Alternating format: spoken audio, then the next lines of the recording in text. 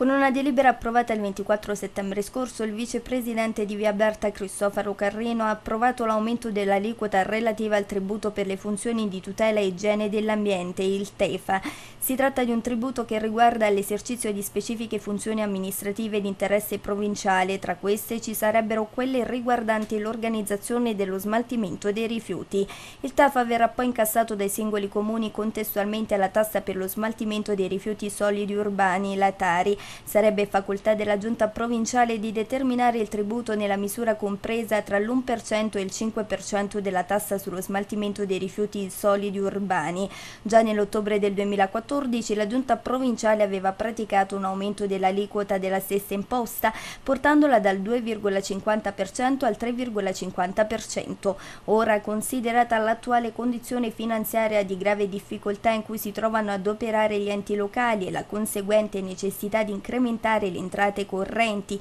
per continuare a garantire il buon andamento dell'azione amministrativa dell'ente a fronte di una progressiva riduzione dei trasferimenti statali, la provincia ha ritenuto di dover aumentare a decorrere dall'esercizio finanziario 2015 la misura dell'aliquota del tributo per le funzioni di tutela e igiene dell'ambiente, il TEFA, nella misura dell'1,5 punti percentuali. Così facendo la provincia di Isernia avrebbe portato l'aliquota aliquota alla percentuale massima applicabile, ovvero al 5%.